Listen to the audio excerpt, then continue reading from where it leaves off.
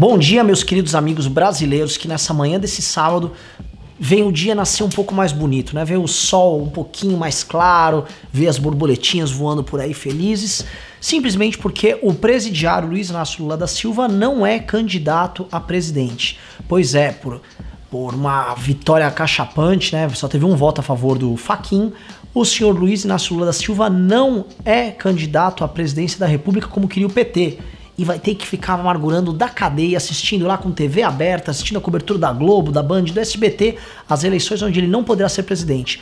Para conhecer mais, antes de tudo, peço para você deixar um like aqui nesse vídeo, clicar no sininho e, obviamente, se inscrever no canal. Estamos quase chegando a 500 mil inscritos. Pois é, se inscreva no canal aqui, pô, vou pintar meu cabelo de verde. Também peço para você, se quiser ajudar com a gente, www.mbl.org.br barra contribua. Pois bem, meus amigos, foi a, o Lula, né? Ele protocolou a candidatura dele, né? Até o Haddad fez um vídeo, né? Estou protocolando o homem, né? Registramos o homem. Mas ao registrar sua candidatura, Lula, que é um homem que foi condenado em segunda instância, infelizmente para ele, infelizmente para o Brasil, ele foi enquadrado na lei da ficha limpa, né? Porque a lei da ficha limpa é muito clara. Candidatos que uh, são condenados em segunda instância por crimes, etc., não podem concorrer a cargos eletivos. E é o caso de Lula. Né? Lula queria ser diferente, ele queria ser o diferentão no rolê. Ele queria concorrer da cadeia e queria que os efeitos da lei da ficha limpa não pudessem atingi-lo. Para isso, ele fez uso daquela manobra na ONU, né? A ONU, que vamos explicar bem, a ONU não utilizou o seu conselho oficial lá para emitir uh, uma recomendação ou algo que, enfim, afetasse diretamente o sistema normativo brasileiro e obrigasse que o nosso legislativo recebesse. Na verdade, foi apenas um órgão consultivo lá que falou ah, daquelas porra de direitos humanos inúteis que nós é, tanto acompanhamos, né? Aqueles conselhos formados basicamente por esquerdistas, e eles lá recomendaram que o Lula participasse das eleições, se bobear, eu não li a resolução, mas que fosse até solto. O Faquin foi o único que comprou essa balela, aliás, cumpriu um papelão, o Faquin que já foi né, é, partidário, já fez campanha pro PT nas eleições de Dilma no ano de 2010 e foi nomeado para Dilma para ser ministro do Supremo. E aí Faquin cumpriu o papelão ali de dar o voto favorável ao Lula.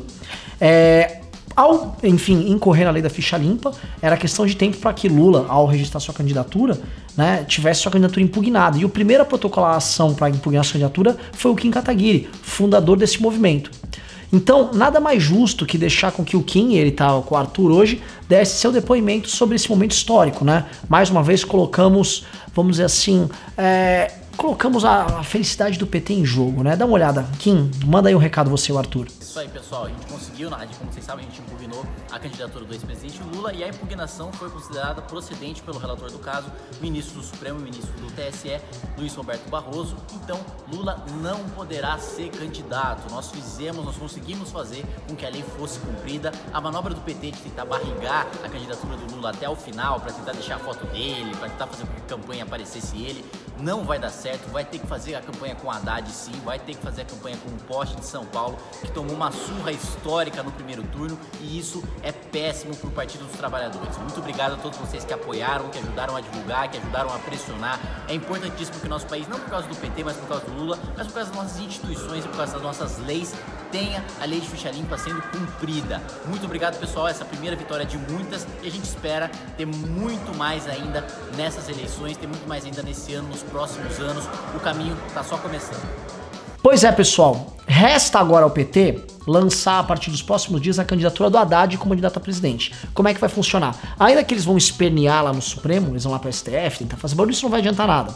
O candidato deles será o Fernando Haddad e vice terá a Manuela Dávida. Lembre a Lute como uma garota, né? A menina feminista que vai lutar né, pelo direito das mulheres e que não aceita que homens deem ordem nela. Pô, ela, acertou uma, ela aceitou ordens de homens e será vice do Haddad, ficará bem submissa lá ao partido que manda nela, que é o PT, que utiliza o partido dela do PCdoB só como um joguete nas mãos dele para ficar tentando escravizar os brasileiros.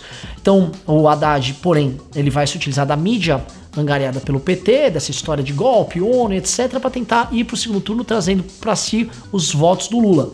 Nesse instante, né, é, as chances dele ir para o segundo turno não são pequenas, são até altas. Provavelmente, a meu ver, e vários especialistas corroboram essa tese, nós teremos Jair Bolsonaro contra Fernando Haddad se confrontando no segundo turno.